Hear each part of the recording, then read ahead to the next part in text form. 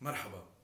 شكل لون وحركة الأيادي بالأمثال اللبنانية بتعكس قيم اجتماعية بتنتقل من جيل لجيل. هيدي جزء منها. ايده بيضة يعني حدا بيعمل خير.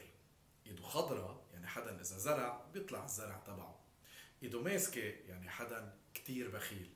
ايده على قلبه يعني حدا كتير بخاف. ايده طايلة يعني حدا عنده واسطة. ايده طويلة يعني حدا بيسرق. ايد بزنارك يعني عم بطلب المساعدة تبعك.